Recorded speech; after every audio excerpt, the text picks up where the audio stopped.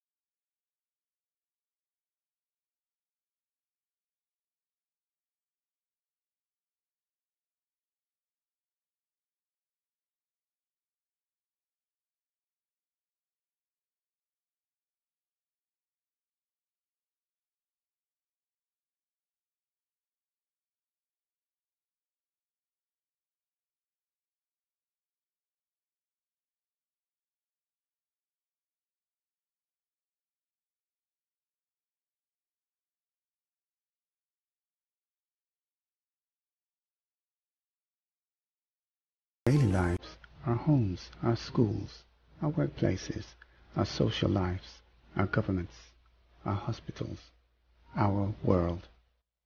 This is not about religion. It's personal to you and starts with inviting God into your world by putting your personal well-being in his hands.